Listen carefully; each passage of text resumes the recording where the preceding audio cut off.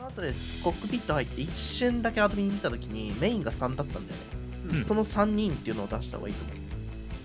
うん僕1人僕かなえー、釣れないですね。